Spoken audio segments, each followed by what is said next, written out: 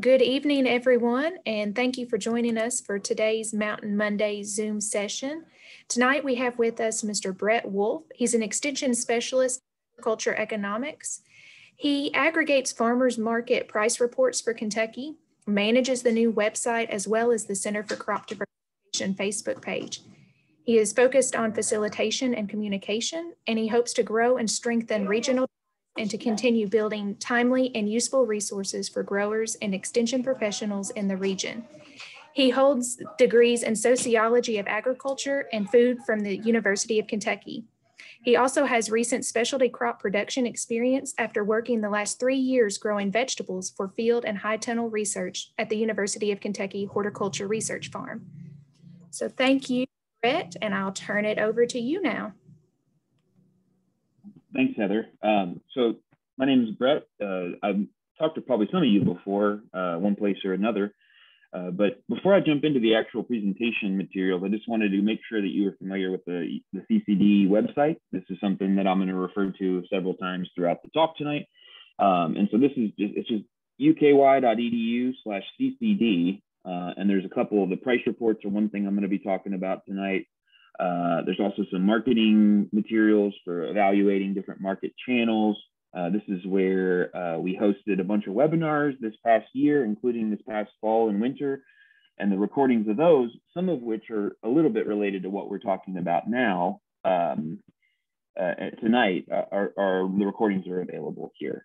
Uh, the other thing I'll point out, as far as thinking about marketing, thinking about building a production plan with in, in relation to marketing, uh, and how you want to market. I would encourage you to take a look, and I'll drop this link in the chat. Um, I would take uh, encourage you to take a look uh, at this. There's further down the page. There's uh, actually this publication here, and what it will do is it'll help you to think through having a plan to try to have some of at least some of your products sold before you put it in the grounds or at least have a clearer idea of what market channels might work best for you. There's a couple of presentations, a couple of videos, uh, recorded previous webinars that we have done in the past um, that, that may be useful to you. But I just wanted to acquaint you and make sure you were familiar with the CCD website before I jumped into uh, the presentation. So let me pop in here. And uh, Heather, you're seeing the, the actual full slide, right?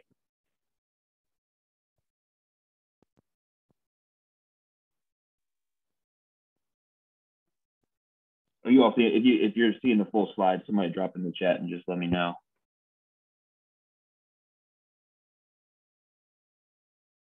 I'll just assume that we are.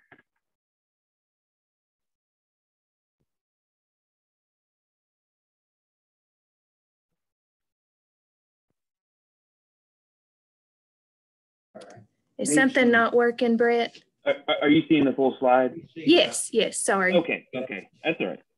Perfect. All right. So I'm going to jump on in here. Uh, we got our tech tech issue out of the way early. Um, so tonight I'm going to be talking about marketing, and it's a broad topic. It would be like trying to ask talk, somebody to talk about production, um, but I'm going to try to cover it in ways that give you some maybe some food for thought as you think about your marketing plan for this year or for future years. Um, this is part of a curriculum that we've developed called Marketing for All. Uh, which was developed in order to offer something at the 101 entry uh, on ramp onto marketing level. Um, and we got support from the Specialty Crop Block Grant Program through the Kentucky Department of Agriculture and the U.S. Department of Agriculture. So I just want to quickly say thank you to them. And so the way we're going to cover this tonight, uh, I'm going to cover marketing basics first and then apply some of those thoughts in the areas of visual merchandising, you know, have set up your booth or your stand, or if you have on-farm retail, and then also talk briefly about maybe some options for accepting more than just cash. But starting with just the marketing basics, this is a fairly old school uh, approach to this concept. These four P's of marketing. And while it is uh, pretty well established uh, approach, it really fits pretty well for I think smaller businesses and for getting a grip on what how to approach marketing in the first place. And so what I'll do is I'll work through each of these variables in the four P's of marketing, And then I will make sure that we connect these because they, they don't exist on their own. They connect back to each other. They offer opportunities, they offer limitations, et cetera. So I'll connect back to those uh, as we go through. So, but we'll start with product. And so if we're in, when we were in person, I would ask people a trick question and ask them, you know, what kind of product is it that you sell? And they would say, I sell strawberries, or I sell leafy greens, or I sell beef. And I would push people to think beyond that, because if we're in an environment where we're able to directly sell our product to consumers, in some cases ask for a premium, or in some cases ask them to maybe go out of their way a little bit of the give up a little bit of the convenience of the modern grocery store or whatever it may be. Uh, part of the enticement to do that can be to help them understand how the product that we grow is actually really special. So you don't just grow a strawberry, you grow a local, picked yesterday, juicy, delicious, premium strawberry. You grow lettuce that hasn't been sitting in a cooler, uh, a refrigerated truck for the last three weeks traveling across the United States. You're selling lettuce that you grew on your farm locally and harvested last night or you know this early this morning before market or you have particular genetics or you have a particular feeding regimen or you have whatever it might be for the, the meat that you might produce so when you're explaining your product and when you're thinking through what your product is it's not quite as simple on the surface as it, as it might seem and the second the second step of that thinking too is that what might be obvious to you about the inherent quality, of the inherent superiority of your product may not be clear to your customer. So making sure we start with a clear picture of what the product is that we're selling. And some of the variables, some of the attributes or the qualities that we might look for in a product that we might offer in a product. First one being locality.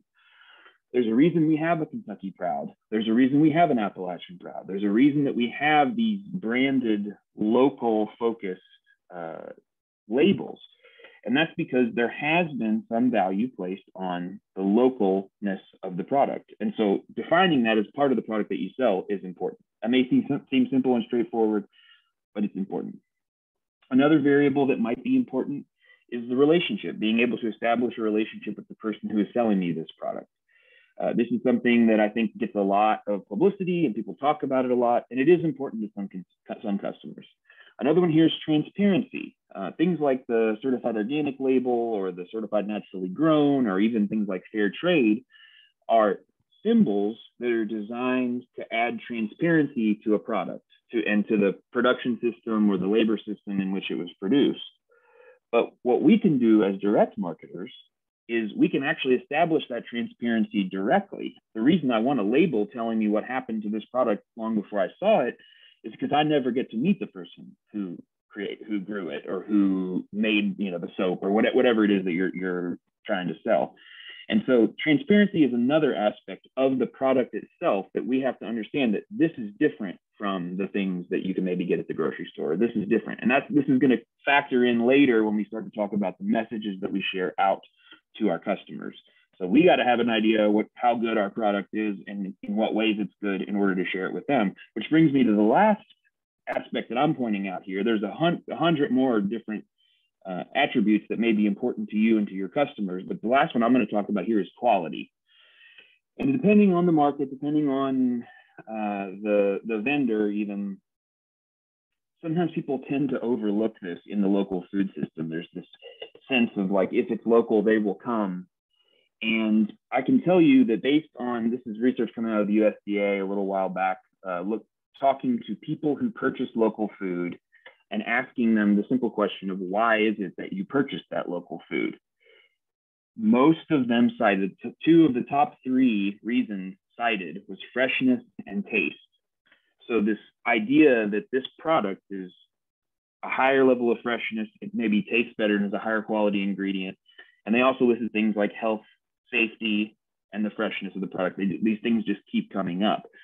The reason this is important is because, especially if we're trying to reach consumers who are maybe outside of the uh, true believers of the local food system, we're trying to reach those people who maybe shop at the grocery store more often or people who for whom this is their first time buying fresh uh, farm fresh lettuce. They usually get lettuce chopped out of a bag or in a one of those heads uh, heads wrapped in plastic.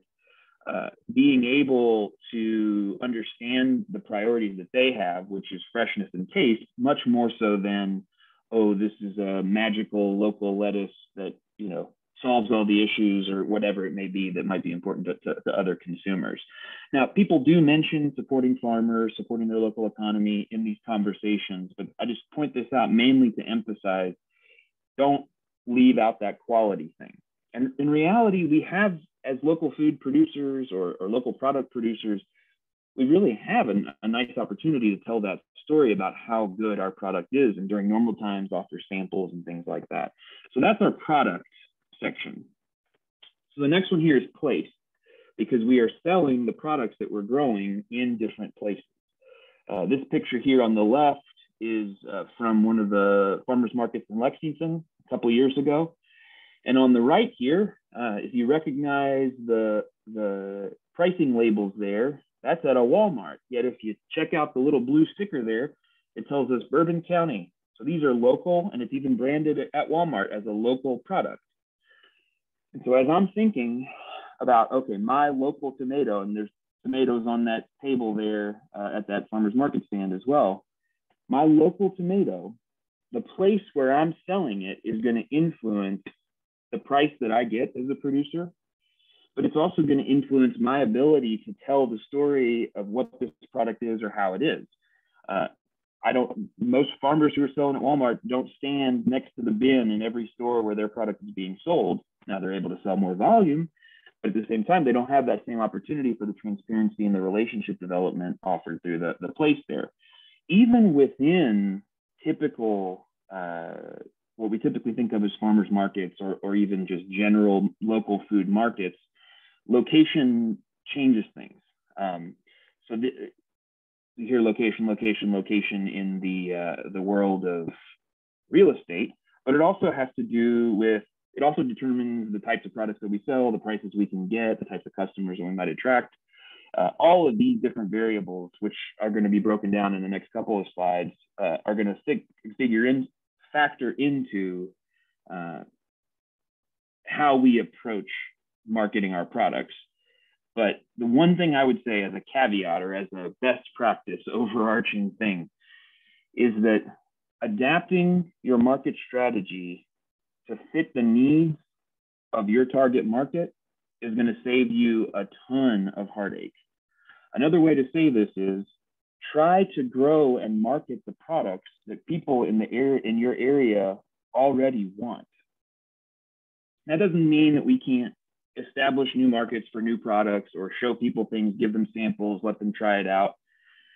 But the world of making in, in the food industry the world of making people want things that they don't didn't want already is a multi multi billion dollar industry. Giving people things that they already want, it can be a less of an uphill battle. Um, and I'll come back to what I mean specifically by this from examples that I've seen uh, in in Kentucky and in this region. Uh, but this first thing here, uh, this is on this previous slide, but we tend to see that markets, this is not just in Kentucky, but in Kentucky, uh, farmers markets, on, on farm markets, and just generally populations of local food shoppers tend to fall somewhere on this spectrum. Very few are all the way to the left or all the way to the right on this uh, on this spectrum, but they tend to fall into one of these two categories with different different uh, characteristics from the other. So on the on the left hand side of our screen here, credence markets are what my mom might call like yuppie markets or maybe more modern bougie markets. Uh, places, and we'll see that tend to be in, in urban areas, though not always. Um, the customers tend to be less price sensitive, i.e., just one more time to borrow from my mom, they have maybe have more money than sense sometimes. Um, they are people who are interested in this this LOHAS thing is lifestyle of health and sustainability. Uh, what that means is the next bullet point, they tend to gravitate towards some of these credence attributes. They might be interested in organic or grass fed or heirloom, or maybe the story of the farm or some sort of artisanal property. Um, They tend to show a little bit more loyalty to specific vendors, you know, as opposed to going to the market to get stuff at the lowest possible price. And the last one here, again, we're describing the consumers uh, tend they tend to purchase their value added products. Now, if we contrast that with the right hand side of the screen and we talk about price markets here, uh, these are ones where people tend to be more price sensitive. They tend to be looking for better deals. They are shopping for value. Part of that may include looking for uh, discounts for buying in bulk. Um, in contrast with that idea of the patron or the loyalty to a particular vendor, they're looking for the best price on the product that they're looking for. And as such, those products are kind of interchangeable. So things like heirloom or things like uh, credence attributes, like organic or something like that, has a little bit less uh, cachet, has a little bit less value to some of the customers in the price markets.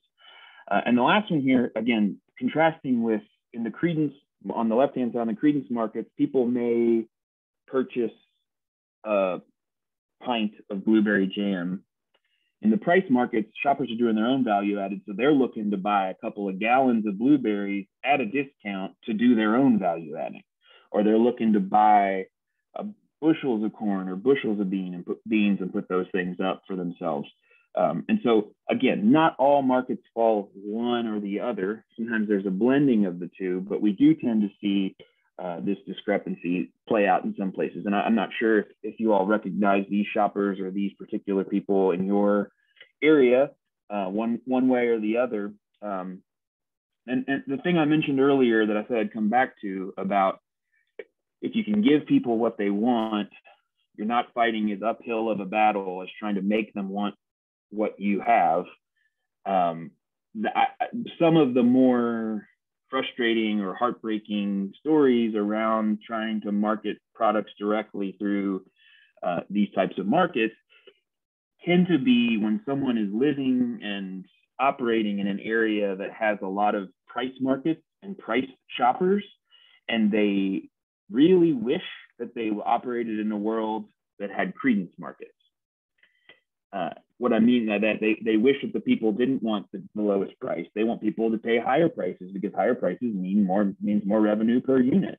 They want people to uh, value the maybe the certified organic label or whatever it might be, and and it's one of those situations where if you just take a look at the market that you're in and you assess what people might want that you can deliver and build your marketing and production plan around that, you're going to have a little bit less of an uphill battle.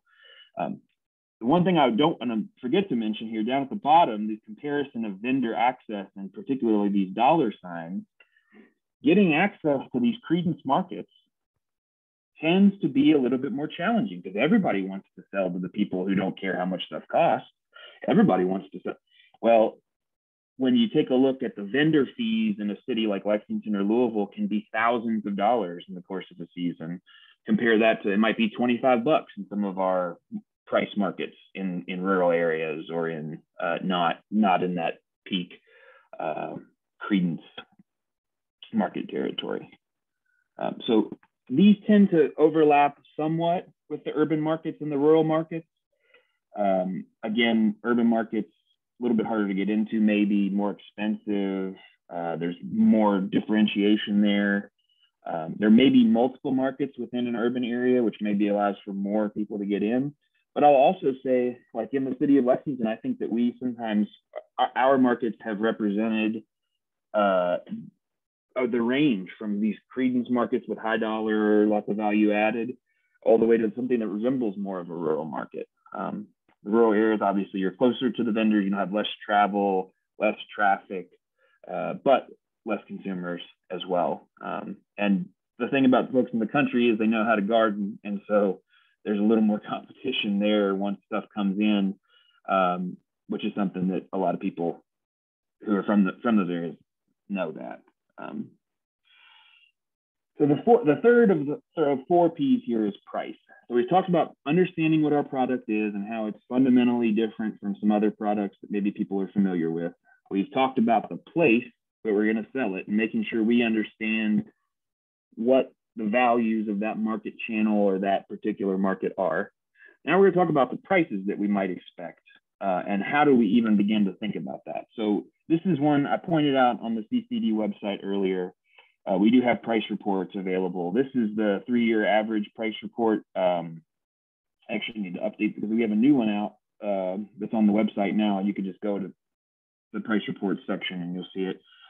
Um, but we also have, um, so we have uh, on the left-hand side here, these are farmers market price reports, which we do every week throughout the season. We post these, um, usually we have between seven and 15 markets reporting, just depending on how busy people get or uh, but these are weekly reports from all across the state with real prices for real products at farmers markets.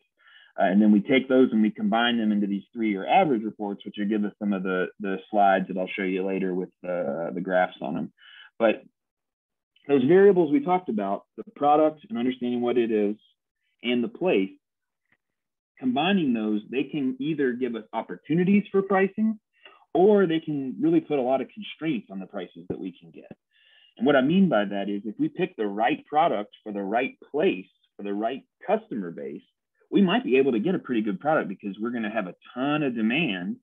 And especially if our product is really, really good and we can differentiate and help people to understand how good our product is, um, we might be able to get a little bit better price. At the same time, certain markets are always going to be oriented toward price and they're looking for the lowest price possible.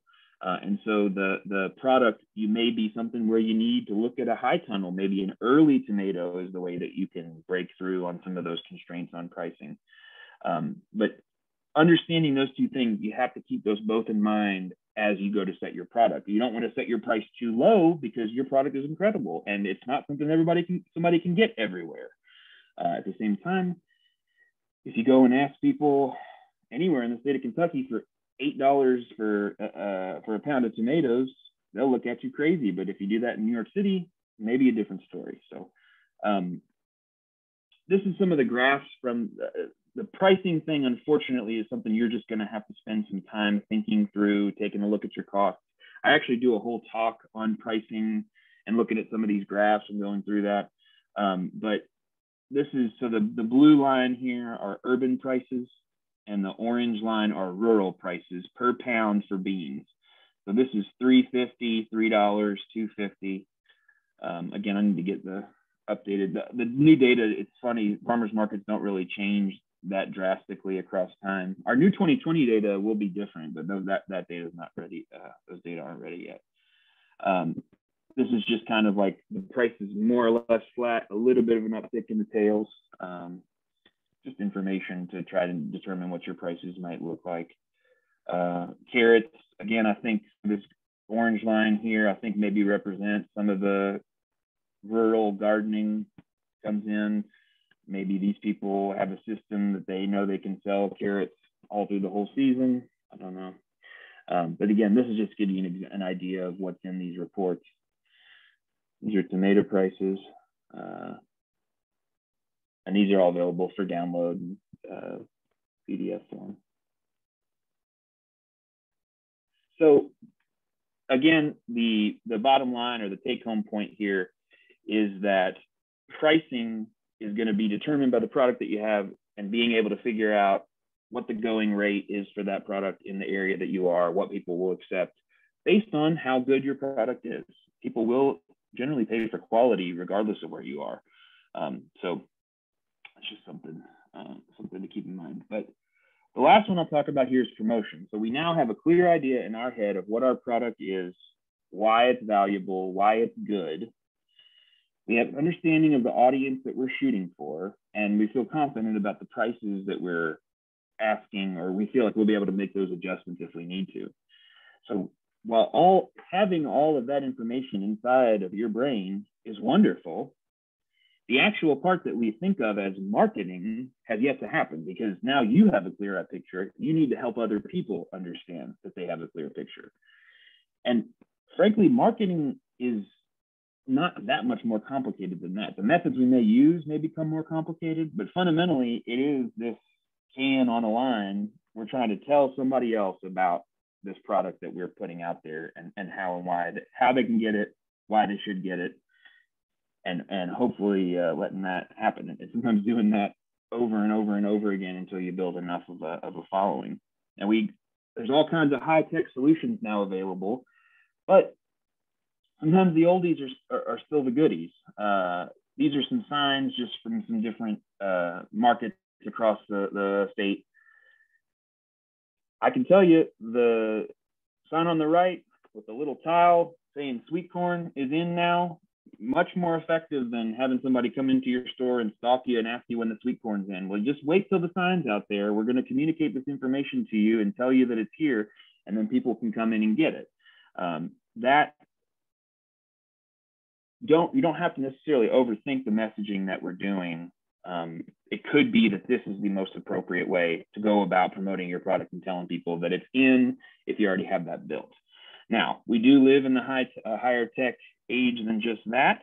And in the age, in the era, this particular last year craziness, communicating information via digital means has been something that's gained in importance. So it was very, very important for a long time. I've been doing social media talks for, for a while now. Um, so the first one I have, I'll go ahead and put them all out. So the, the first one I have here is Facebook. I've listed these three, so Facebook, Instagram, and then that last one's just a generic thing for a website. I've listed them in the order that I would consider adding them to my marketing operation. This is not a hard and fast rule, it's just a general idea. Facebook, I would always add Facebook first because it's generally free except for your time. Excuse me. It is, there are a ton of people on it, especially people in the demographic range who have money right now. Um, younger people may be going away from Facebook, but people in the millennial, late like older millennial through to the boomers and beyond, a lot of them are on Facebook. Facebook is really good at showing up on um, uh, like Google searches for search engine, search engine optimization, SEO and it has a lot of built-in analytics that can kind of help you see how things are going and it gives you a chance to get started with some of this digital marketing without too much investment of time or energy. It's pretty relatively simple as things go. The next one i would maybe think about is instagram which is now owned by facebook not now it's been for a while but it's owned by facebook. So instagram is a picture and video driven content suite. Um, if you have a lot of visual items related to your operation and you want to share those with people, Instagram is a really good way to do that. If you don't, you know, no sweat. Um, the other one I would say is the website as a, as a means of promotion. Sometimes I think people feel like they should have a website and they can't really articulate any other reason why they want to have one. If that's the only reason is because you feel like you should, it may not be a very compelling reason. If you have for certain aspects of your story, if you want to enhance your brand, if you want to sell online through your website, all those are great reasons to do that. But if you're just kind of thinking, maybe I should have a website, I would consider starting with a Facebook page if you're amenable to that. And that's a Facebook business page, um, which is something I covered in some of our webinars in the past. Um, along with the, the internet, uh, I mean, sorry, the website, thinking about starting an email list is another thing that we have talked about in previous webinars and other places, and that would be another really great place to start. Issue with that is, you know, you have to get people to give you their email address in the first place, uh, and that might not be the first lines of promotion if you're just looking to get started. The other thing I'll mention, I'm, you know, I'm a broken record on this, uh, but not all of our approaches need to be the brand new technological approaches radio and newspapers still do have effects in our communities uh, in this state. And in some cases, the, these places will do free promotion for a farmer's market or like a really cool local food business. They'll do like a featured story piece on you. Um, you can also just do old school kind of like doing ad, run it, running advertisements and paying for it. Um, so those are just some angles that you might consider with promotion. A couple others, just to think about Kentucky Proud the branding campaign. Uh, it is free to join for producers. It is a very recognizable label. Um, I would say of all the state branding campaigns, this really is one of the better ones as far as I've seen traveling around. Uh, they do also have some cost share programs available to help you if you want to have a banner printed or if you wanted to do some advertisement, they'll kind of share the cost of that. Uh, they also offer some at what they call at cost promotional products, which is hats with Kentucky Proud and bags and price card pricing cards for your table, um, etc. And there's also kind of an online support community on Facebook, uh, I think maybe on their on their website as well. A uh, couple other ideas people tend to like when I just throw out brainstorming kind of ideas. So on the left here, this uh, apple I, don't know if that's the, the good apple or the bad apple that spoiled the batch. So he, this is a intern we had. He's a French guy named Martin, and he was uh, wanted to when he was visiting with us, uh, when he was working with me a couple of years ago. He wanted to go and see uh, some of the agritourism venues around, and so I agreed as long as I could take embarrassing pictures of him. But um, I took this picture and I thought, you know, it was kind of a cute thing to give him to send back to France but at the same time, this this is part of a marketing outreach campaign because they didn't just put this up, they put this up and they put their name on it. Now imagine just for a second that it's not Martin, a 19-year-old French guy, and instead it's this cute little girl up here with the bunny. And she's in it, and it's not me taking a picture, it's her mom or her dad.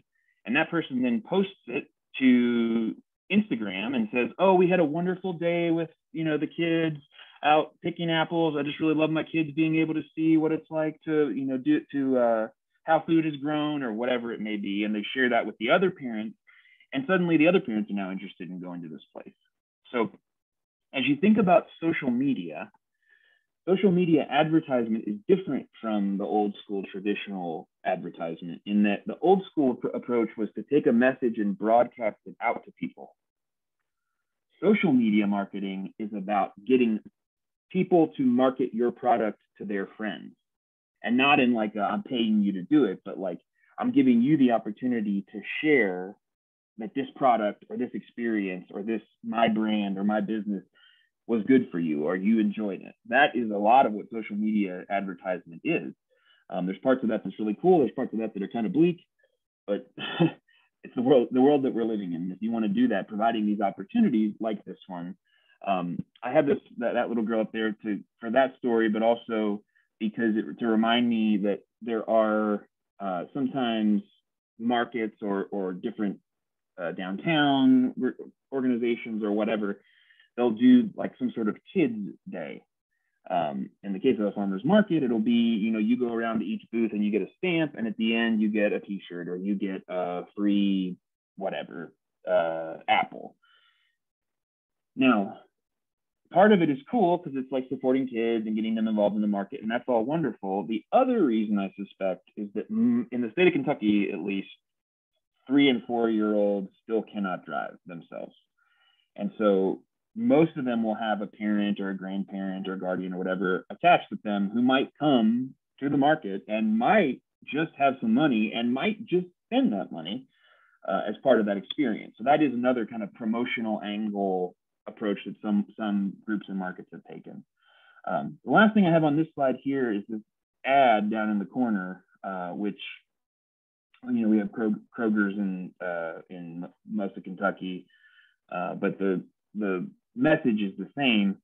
If you are attracting customers who are used to shopping in a supermarket scenario, I mean, we, I grew up shopping in supermarkets, I still do a lot. The messaging that they will see and that they will be familiar with is going to be a little bit different. And this is the type of messaging and advertising they're used to seeing.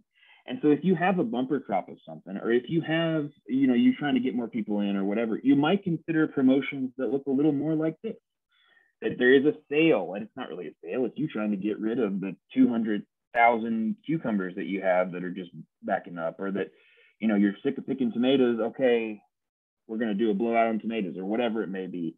Um, so that's just another thing to think about is that not it doesn't always have to be the like local food forward audience. It could be people who are a little more i don't know normal typical um,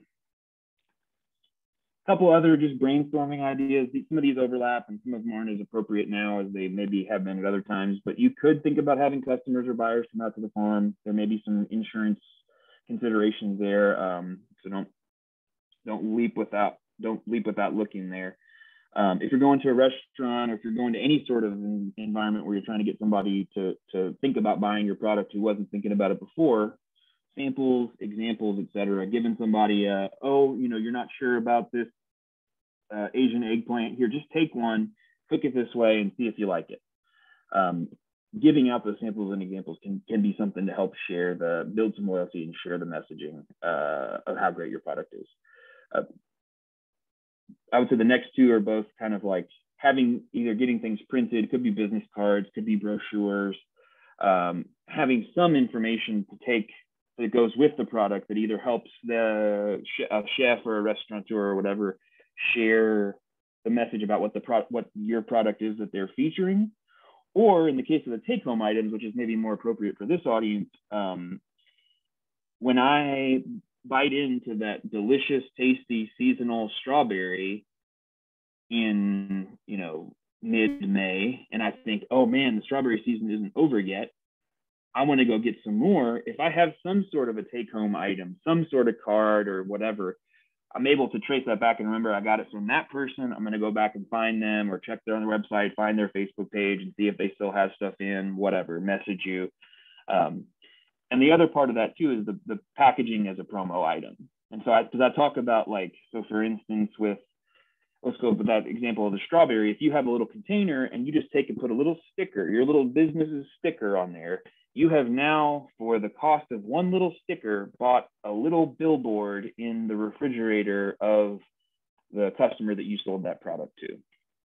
Now, this all hinges on whether or not your product is actually good. If your product is bad, you, that billboard is a, a reminder. But we're all just going to assume that everybody on here's product is really, really good and you're proud of it. Using that package as a promotional item uh, can be a helpful way to, to hammer that message home.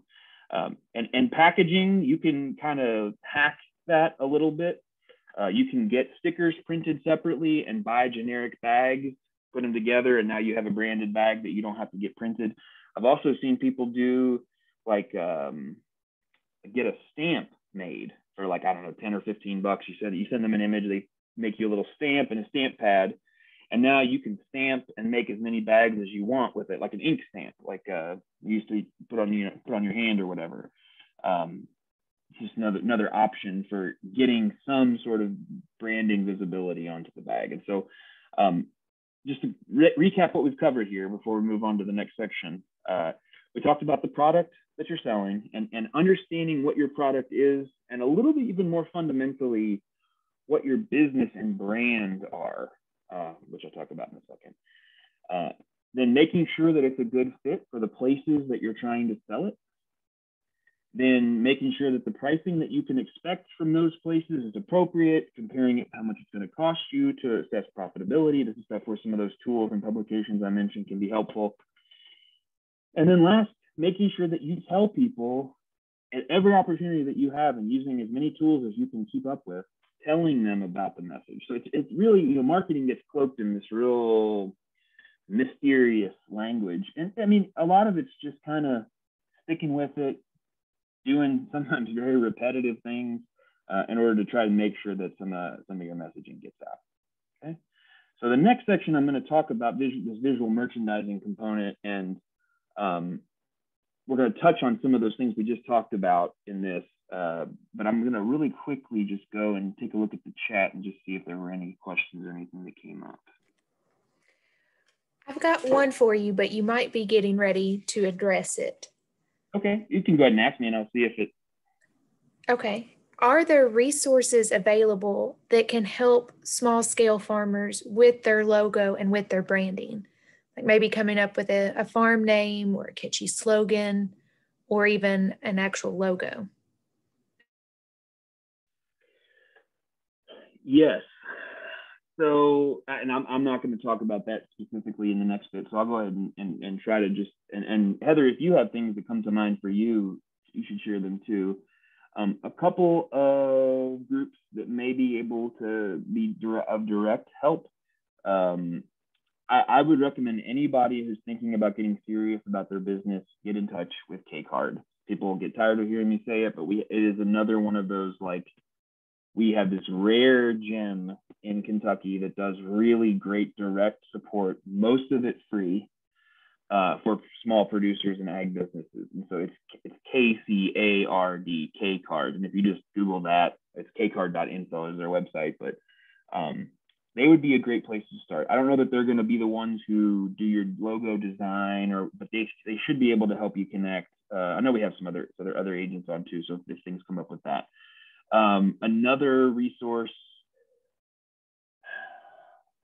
I'm not, so I know uh, the Small Business Development Center, SBDC. Um, they're another great resource along uh, similar lines, uh, kind of helping with business development. There might be, do you all know any of the, the agents or, or, folks from the, the region? Do you know, I feel like I'm missing, missing maybe a, like a region specific group that might be able to provide some support on that. Would that be something SOAR might be able to help with? I'm not real familiar with that organization. I, am th- I'm thinking so. I, I might actually just follow up. I could follow up with you, Heather, and, and we can and double check. But um, I, I will say any of those like K Card and SBDC, they, they'd be able to point you to those places too, and it'd be a good way to just check in with them about what they're um, what they can what they can offer you and what they what they can't. But uh, there are some at least people to help uh, and in some cases, there might even be some funding uh, available to, to be able to help with some of that. I know that, yeah, depending on how it plays out and what you get printed and, and where the, the KDA money can sometimes be used with promotional stuff. And I don't know how that shakes out with the, the, with the logo development itself, but, um, okay. So I'm to jump in here on the, the visual merchandising and again, so I, I mentioned before um, that understanding what your product is is a really important uh, first step to all the messaging and, and thoughts that come afterward. I would go ahead and just say the bigger question is thinking about what your brand is. What is it that you're offering to consumers? Uh, and all the various variables I'm going to go through in the next little bit uh, are about they can help you tell the story or they can distract from it or, or lose that story and so if what you're about is providing fresh local farm grown products to your community a really high tech fancy light show associated with your display or something like that is just completely inappropriate at the same time, if you're trying to market to a little bit more of a highbrow crowd, a little more modern, you know, somebody to people that buy more like uh like sleek products, people in that credence market, for instance, who maybe want to buy their uh the the value added products and stuff like that. A bunch of hay bales and a very rustic presentation may not be the right presentation there. Uh, in any in any case, just thinking about what your brand, re- reconnecting with who your customers are, what might make them feel comfortable in your in your decisions about this stuff, um, is going to be important. It, it'll also help you decide what products you offer, what products you stop offering. You got to constantly be kind of thinking about what your what your customer might need. Um, so first and foremost, if you're selling food, and really any other product, but food in particular, uh, one of the biggest concerns consumers mention is going to be food safety. And so a dirty or untidy retail location, display, booth, whatever, it can convey either like a lack of professionalism at the best or even like a risk of to human health at the worst. So um, also going back to what's the message that you're trying to send, which fundamentally is kind of like, please buy this product. It really looks really good. See, you can't even take your eyes off of it. Clutter can be a distraction from that central message and it can also kind of stress people out. Um, you ever get that feeling of like calm after you declutter your house? You know, if, if it's me or my office once a year, uh, I feel really great for a couple of weeks. That stressful experience, if you can reduce that for your customers, that would be great. So clean and tidy, hopefully that goes without saying. We'll come back to this picture here in a little bit. Uh, another note here is that if if we mention quality as one of those variables that we really, really want to have uh, because customers value it very, very highly, and it might be the reason we're able to charge a premium. If you don't have high quality, attractive products, then the rest of these practices are going to be like a beautiful frame on the on a terrible picture. It does not change the central proposition that you're offering. So uh, everything that you should you're doing should be enhancing and, and emphasizing the product, the quality of the product that you're offering, not it's not going to be able to distract from it. The other thing I'll mention is thinking about, we think a lot about the products that we're putting out, the business, the branding, the logos, but in direct marketing, when you're selling your product, you're also selling yourself. And uh, I know, you know, none of us would judge anyone for looking a certain way or dressing a certain way. But if someone trying to sell me some leafy green and they're covered in dirt like this guy on the left, it looks very cool in the picture. But if that person's trying to sell me uh, uh, some leafy greens or a stack of pancakes, I'm going to be a little bit hesitant. Like, I'm not really sure what's going on here. So I know people are coming from farms in many cases, they're coming from some other thing. So just keep, I used to work on a farm and then I would teach in the evenings. And I would just have to keep changes of clothes and have to figure out how I was going to make make a part of the, the plan to present myself as professional. Um, and I think this is something that, and not just the appearance, but the, the very, the role of the person in the direct marketing is something that makes a lot of people uncomfortable. And I think if you've chosen direct marketing, it's something on some level you kind of got to make some peace with that this is just part of the equation. It's going to require some effort, um, not just changing your clothes, but being able to interact with people. And if you're not super into interacting with people, it may be time to bring somebody else into the business who's who is more interested in that type of uh, of activity. So normally I do this whole presentation as this hands-on version where I have uh, I have a faux dirty shirt and I have lots of examples and like actually bring a full setup of fruits and of fake fruits and vegetables that I use uh, to demonstrate this stuff and it has a little more effect in that way, but the principles here are the, are the same. Um, so another variable to think about with the, the uh, way that you're setting things up in your retail location is thinking about the floor plan and the flow of your booth. Um, a lot of this is just about visibility, vendor convenience, uh, customer experience, and what we don't want to do is we don't want to hide our products from view and we don't want to uh, overcrowd things, but at the same time, we want to take advantage of the space as much as possible. So in this, the, the brown things are tables. They're, you know, these are roughly a 10 by 10, like a farmer's market stand, uh, a lot of farmer's market stands are. The purple thing is you, you and maybe the how you're going to take money or where you're going to accept money. Um, I can't tell you exactly which one of these is going to work perfectly for your product and your audience, but I can tell you that if you take a take a moment to step back and look and think ahead of time, you might be able to uh, head off some problems of crowding. Because in like so, for instance, I'm not sure if you can see nothing, but in the uh, column three, row two, this is great for getting product out there. And if you have stuff out to the outside and people are able to get to the outside of your booth, it's great.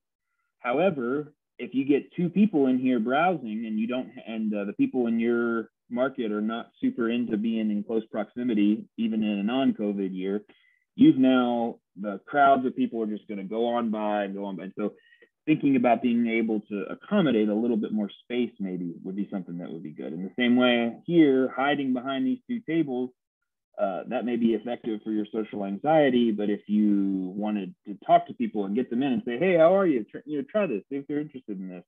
That might not be the uh, the best option.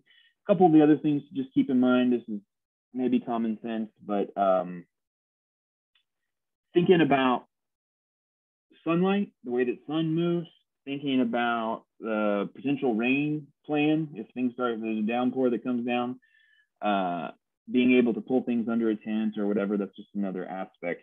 Uh, one thing I would recommend, though, as far as this particular aspect of it, along with some of the others that we'll talk about, is take go ahead and take a picture of your booth or of your setup or whatever um, every time you set it up, because in the moment, on the morning of setting everything up and getting everything figured out, and the truck won't start, and all the other chaos that might happen, you may not be in the right state of mind to think critically about how you would want to change things around. And this is going to be one of the things later is record and reflect. But this is the way of recording and reflecting. And if you're doing the social media thing, snap a picture, post, hey, we're down here till whatever. Now you have a dated uh, social media promoting picture of how things are set up for you, and you can then go back and, and reflect on it later. So again, all of this is just you're trying to create a nice smooth experience for your customers, uh, and also a nice selling environment where you're able to get more product out in front of more people. Okay, so these are like the precursors, I think, to what most people think of as visual, visual merchandising. A lot of what we actually think about uh, are these visual cues. And so um, let me see if I have, yeah, okay. So these different signifiers here, this is what I call the, the knee to eye range. This is a this is a reflection of the fact that people don't like to overextend to reach overhead, and they don't like bending over to pick stuff up. And if you're expecting them to buy something from you, they definitely don't want to do those things. This one here is lighting. Thinking about lighting, um, I usually have little, if, if you're in a dark environment, you might consider bringing in some supplemental lighting. Uh, but next time you're in the grocery store or uh, retail store like Kohl's or you know the mall or whatever, um, Walmart, look up at how much lighting is in those places. And it's not just the lighting that makes everything uh, bright and shiny. It's strategically placed in places to make certain things pop. Look inside the coolers where they sell all the produce. Look inside the coolers where they sell all the uh, the frozen stuff there is so much lighting in our retail environments and it's because light we're, we're drawn to light like moths you know and so lighting is just something to think about uh, uh, one easy way to think through this is uh, there's generally a recommendation to not use like a red tent cover because it casts this dark red kind of stressful tint on everything a white one it, it creates this nice almost like a like a soft photo lighting on our product middle of summer, it may not give enough solar protection. It may get hot, but it, that's just another thing to think about in the in the visual presentation of what you're doing. And the last note here is about abundance.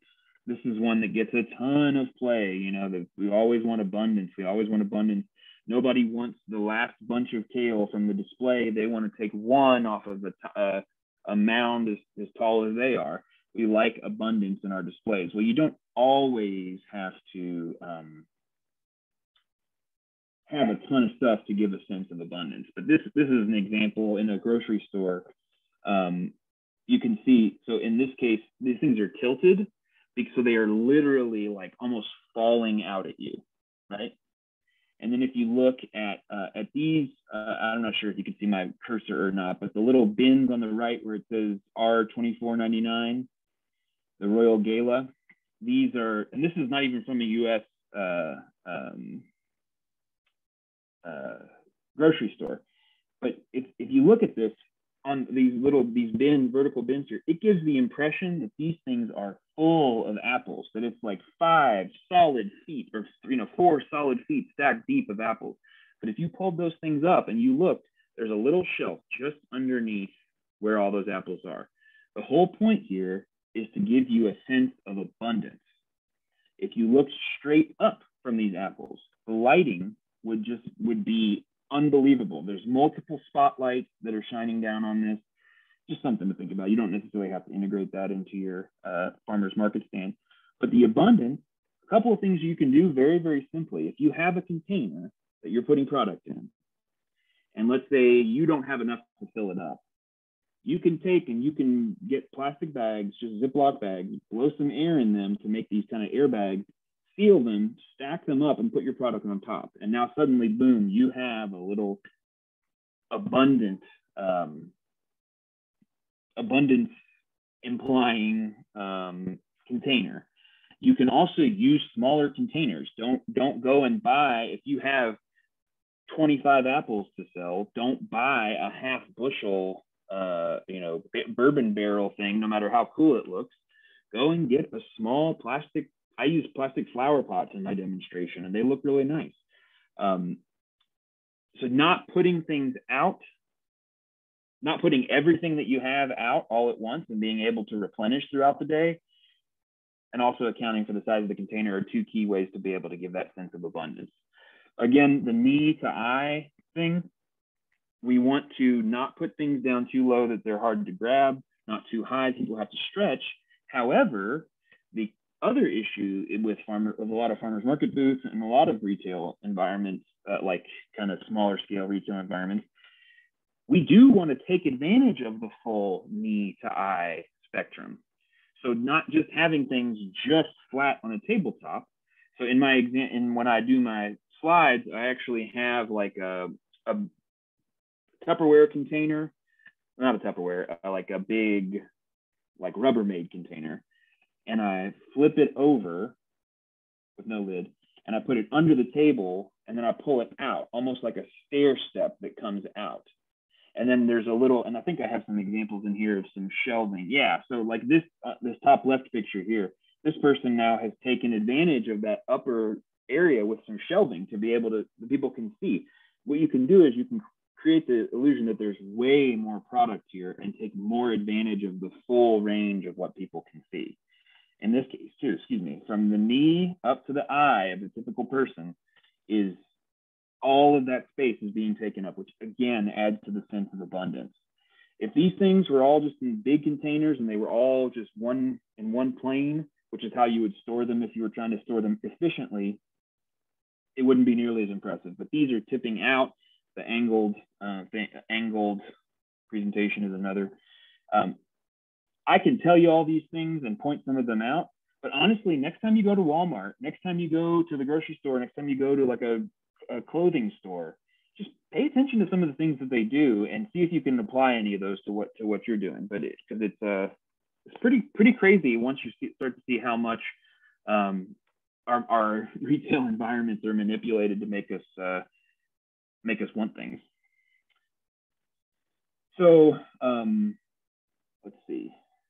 The last thing I'll talk about briefly is color, and I think I have another. Yeah, okay. Um, so color is the, the most important colors that are in your display are the product your product's colors. So if I have this lime green container that I bring, this like neon bright green container that I bring as a terrible example of a product for that type of application, because it just draws your eye right to it. It makes everything else seem dingy.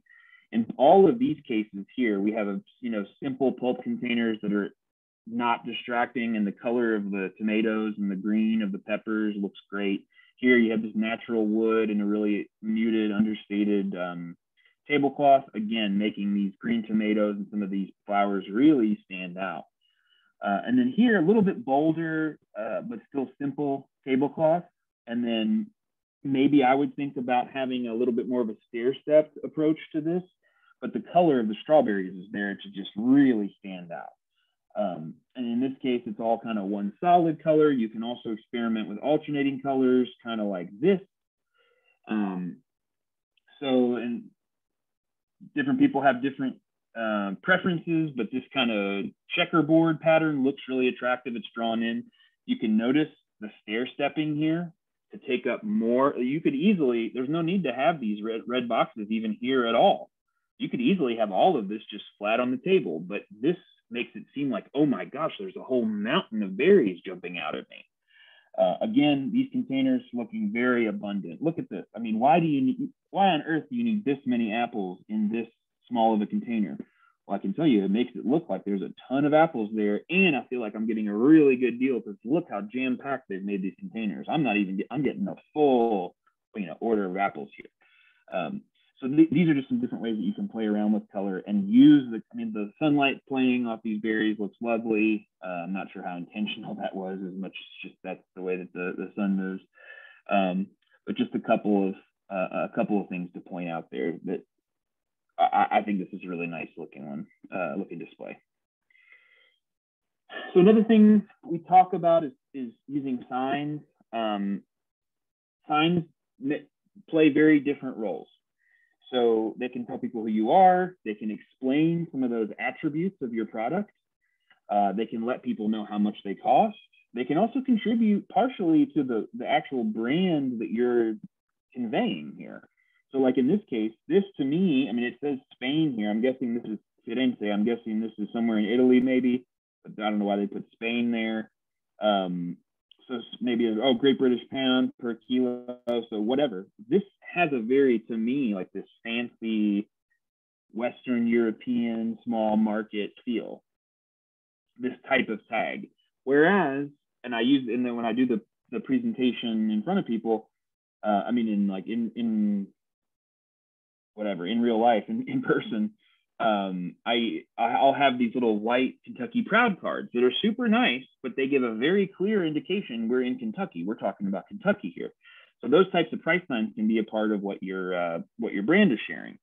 But something that I would recommend about pricing in American markets is to have prices on everything because those prices are like a security blanket for shy people there are some people who don't want to come up and haggle with you over the tomatoes. They just want to know how much they are and know how many they can buy. And it also, if there's people who are this is their first time or they're not really that comfortable in farmers markets, it lets them know here's the situation. Here's and the more that we want to attract those people to these markets, the better. So we do recommend having uh, pricing signs for everything. Now you can do individual price signs on everything, or you can have one central board that kind of explains the prices for everything and that that's easier for you. Um, if your products aren't super obvious what they are, or maybe somebody who isn't that familiar with the different produce or cuts of meat or whatever, uh, you might have to do some explaining and some, some coaching there. Uh, but generally speaking, we do recommend that. Um, other signs you might think about things uh, somebody mentioned the logo and the farm branding. That would be another component. Uh, that could be a sign. It could be one of those banners. It could be a number of different things. Um, think about using signs if you have a particular special deal or a crop that you're really or a product that you're really trying to move. Um, we mentioned that we pointed out those things earlier, the, the signs out in front of the agritourism and the, the produce auction. They advertised when a new product had come in, you know, the, the sweet corn is in or tomatoes are in, like that type of thing. That could be another sign that you might consider using. Um, this might be chalkboard, but I, I, like to look at a chalkboard and a little chalkboard pin, um, which I didn't know existed uh, a couple years ago. Um, yeah, could, could be a, a, a, neat way of doing that. Uh, another thing you might consider if you have particular growing practices that you're proud of or that you want to kind of convey, or if you're a family farm, or if you uh, grow everything that you sell, or whatever, uh, that might be another thing to consider putting on a sign just to let people know because i'm telling you a lot of people are very timid can be very timid in these environments and and there are a lot there is some untapped potential for people to buy things if they are, know what to expect going into an interaction. So um, that's just another thing to think about. And this here this is using price this is the same example from the colors but this is using price signage to uh, advertise how much stuff costs but also, just one subtle thing here to mention if you look at the Michigan blueberries, these are $3 for a pint. And these are quarts that are $5 for a quart. Now, I am no mathematician, but I think $3 a pint is a higher per unit return than the, the quart prices. The pints here at the lower part, I'm going to make more money on them, assuming that you know the container isn't a whole lot more expensive. And where do I put those? Well, I put those right where people can most easily reach them. Just a little strategy. I mean, it's simple, but it's like somebody needs to know that they're looking for those quarts. And if later on I sell out of pints, you know what I can do? I can break down those quarts into pints and continue selling those and making a little bit more money. Uh, if I just keep selling people quarts, you know, it just depends on the market. And now there could be some places they want to buy gallons. They aren't interested in many quarts and they want a, a good deal. I mentioned those types of markets earlier. So um, this is just another example of different signage giving a very different kind of feel. This is kind of this more French, whatever, um, just to, something to think about. I've already mentioned this a little bit, so I won't go on too long about it, but uh, flyers, brochures, cards, and other promotional items can be good things to have on hand. Not everybody wants them, some people really do want them though. Uh, recipes being one of those examples. And so they have the Kentucky Proud recipes that you can get from the extension office, but also sometimes people like to hear what you make with the stuff that you grow. Uh, having your own family recipes can be something that might be, or not even family, but just things that you make. Um, maybe you found them online and you just kind of share them with people. But those kind of take home items can be helpful again to establish a longer term connection and establish your brand. Um, yeah, so that's that's all I'll say about that. Uh, containers and packaging for me are part of a take-home item.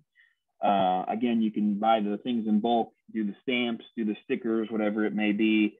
Um, one thing uh, on the the uh, containers for for products. Um, oh, no, never mind. I'm gonna leave that one. Leave that one alone. Um, we do talk a little bit about this. This might be something that your markets might be interested in. People that want to buy things by the pound all the time rather than unitizing them out to quarts and pints or whatever. There's positives and negatives to this. Um, it's just something you might want to think think through. Uh, the biggest positive is the packaging costs are considerably less.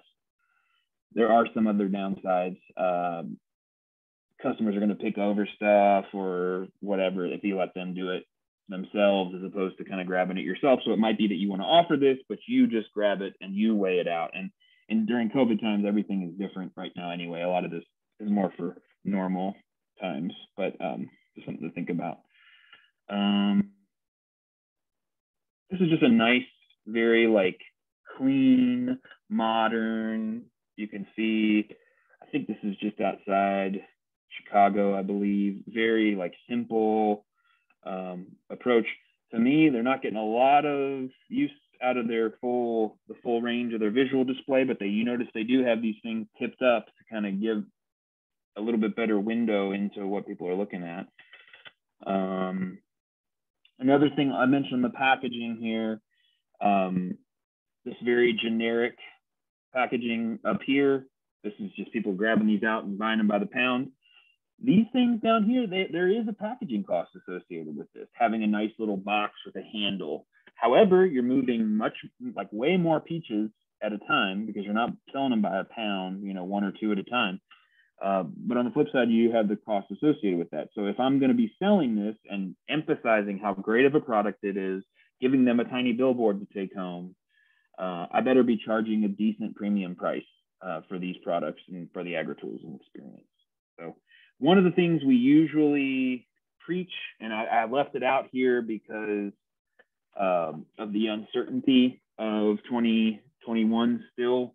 Uh, but just had conversations this week about how, how this is going to go. We do encourage sampling in normal contexts uh, when there's not an unprecedented global pandemic. Um, so the reason we encourage that is just fundamentally because they sell. You've ever been to Sam's Club, if you've ever been to Costco, and again, during typical times, they offer samples like crazy. And it's not because they really want to share with you the quality of that jalapeno popper. They know if you go, especially around dinner time, and you taste that thing, you are going home with 64 jalapeno poppers in a frozen bag, and they've got you. That's why they do sampling in the first place. And so, in the same context, sorry, in the same way in the farmers market context, uh, and and then the direct marketing context in general, sampling does sell. And I have all these nice data to show you when uh, when we're conveying that information, but it's just something to keep in mind and look out for because there may be some protocols to be able to offer some sampling um, going into this season. So the last one, the last section here, and this one is very short compared to the other two, is just thinking about moving beyond just accepting only cash. Um, I'm not sure how many of you all already do this. 2020 was a big year for pushing a lot of businesses that previously had not done any online sales or previously had not accepted credit cards or you know debit cards into doing so. And so I just want to give you a little bit of food for thought on this um, and a couple of examples and some reference points uh, so I'm going to talk just mostly about credit cards and debit cards. uh, I'll briefly mention the EBT and SNAP. I'm not the person to talk to about getting set up for that, but uh, you all may already do that um, anyway. And I'll mention the online store and phone orders just because they're related to credit cards and debit cards. So why would you or why wouldn't you? So in the case of why you would maybe want to think about taking more than just cash, it's going to expand your customer base. Cash carriers, people who carry cash, are in some ways a shrinking number of people. Uh, we are not operating in the same cash economy that we were even 10 years ago, certainly not 20 years ago. Uh, there is a potential for higher sales volume. In general, we tend to find that people who use a credit card tend to buy more. Now, that may not be good if you're the person spending a bunch of money on your credit card, but if you're the person selling it to someone on a credit card, there's a reason there's a reason why credit card businesses are, are, are in doing just fine for themselves.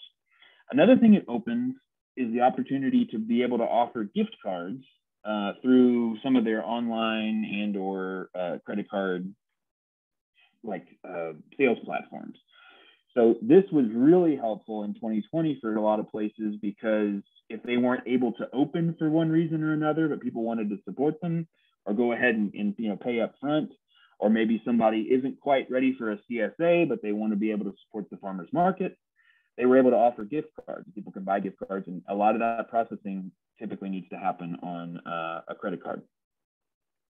As far as not necessarily just accepting credit cards, but maybe even moving to some online or some pre-sales or pre-ordering and prepaying. It can allow for uh, better planning for market days where you already have a big portion of what you're selling sold prior and you know how much to take. Um, and it also allows people to commit to buying it ahead of time. You know, it, I'm much bolder purchaser when I'm sitting on my couch than when I'm staring the product right in the face. I get uh, I get nervous in that in the moment. But if I've already pre-purchased it, all I got to do is go pick it up, and the whole thing happens without any money changing hands out in the open. So that might be why you want to take it. People tend to spend more. It might open up pur- purchases or a customer base that wasn't previously there. Why wouldn't you want to take it? Well, eh, there is maybe some potential that with the fees, well, they're going to charge you fees. So there is some portion, if you did the exact number, the exact same amount of sales, and it just switched from cash to credit card, you are going to be making less money than you were before. However, if we take into account the previous slide and say that maybe we're expanding our customer base or people are willing to buy more if I accept credit cards, you have to see if those things come out in the wash. And the, the fees now compared to when I was a kid working retail and cocoon, cocoon, cocoon, cocoon, back then it was so expensive. Now it is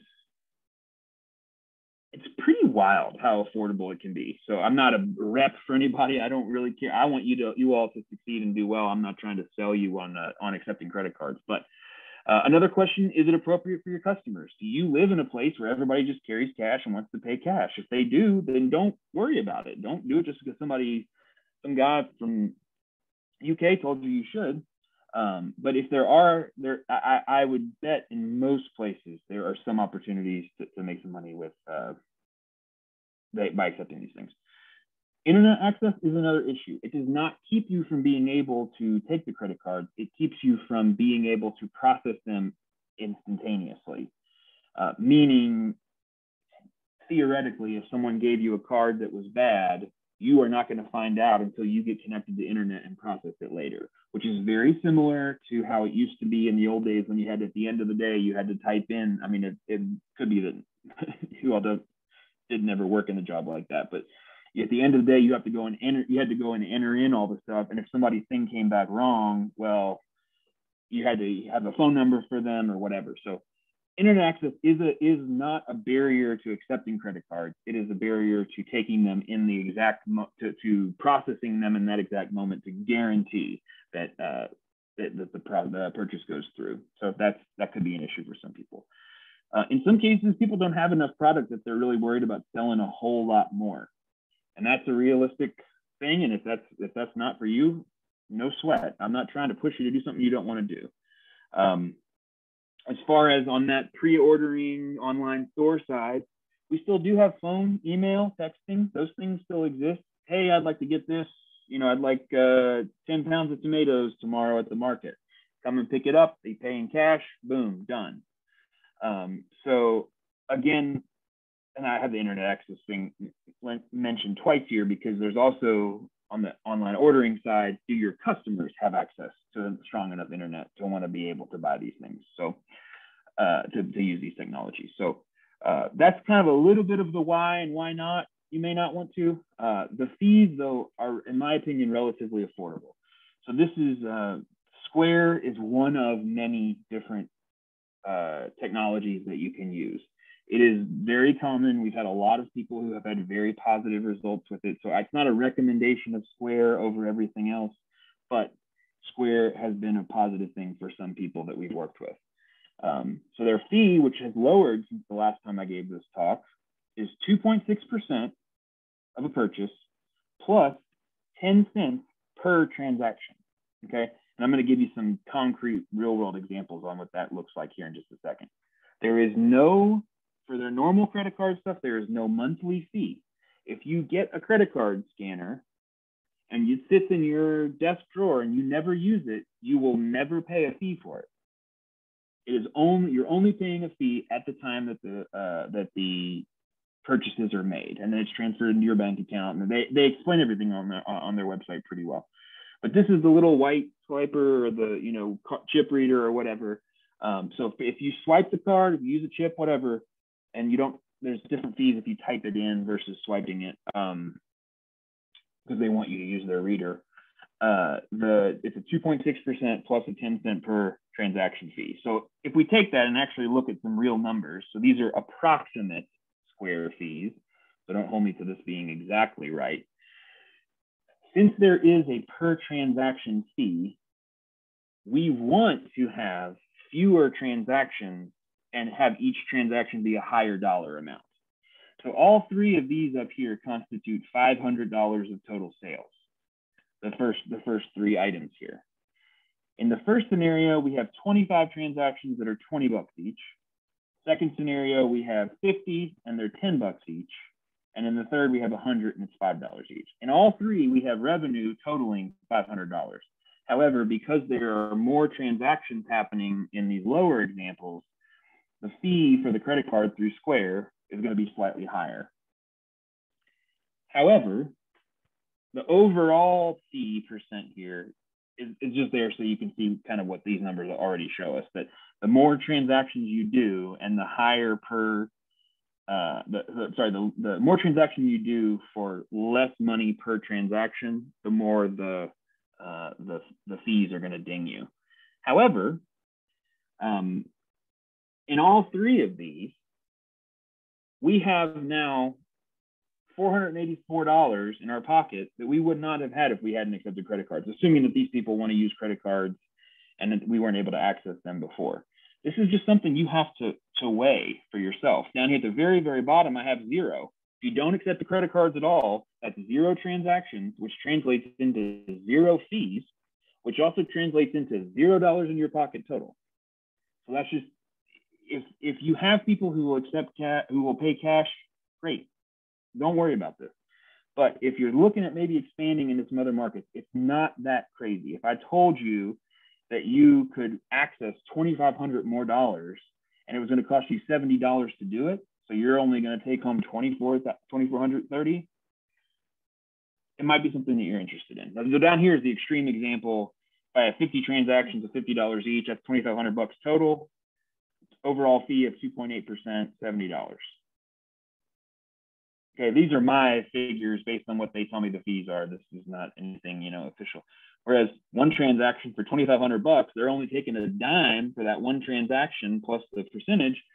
But it's still only five dollars difference here. So, so the, the bottom line for me to take away from this is it's not. I'm not seeing half of this money is going to credit card fees, or a, you know, a third is going to credit card fees you have to assess whether for you you're going to get more sales out of this than what this this fee is going to going to be. But again you're not going to be charged with square at least. This is why I, I know it fairly well.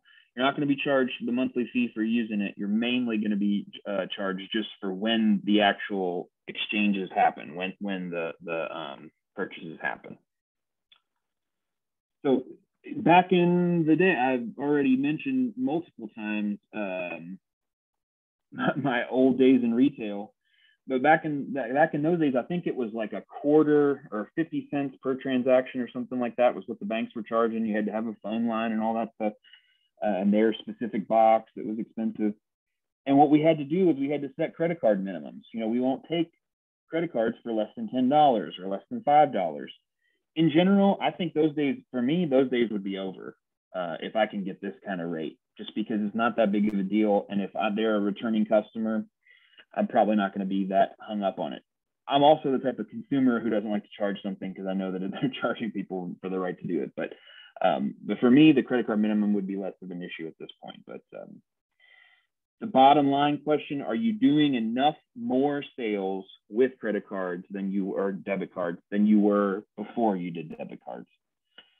If you're not doing enough more sales to cover these costs then it's not worth it for you. That's the bottom line. So uh, the other thing that another thing to think about i'm not sure the extent to which the groups uh, are able to accept these things with the uh, electronic benefit benefit transfer card, the EBT card, and SNAP benefits and WIC and senior vouchers. That's something that we do have the capacity to take that at farmers markets. You can also take it as a direct uh, a direct marketer like on farm or in the, those contexts as well.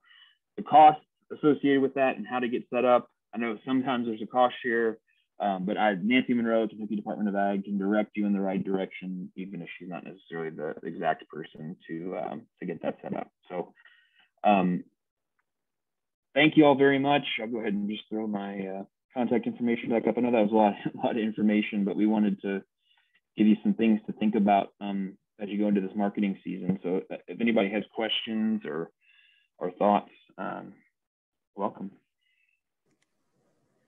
You all feel free to unmute yourselves or put questions in the chat box. And um, yeah, Brett, that was awesome. Thank you. I've done a million of these Zoom meetings and they are never, they have still not become not awkward. it's just kind of like, oh, I'm just here talking into my computer. Well, I think you did great. And I think there was a, a lot of really good information um, for market vendors. And actually, I'm just going to go ahead and stop recording. That way, if someone has a question, they might feel a little bit more comfortable asking that.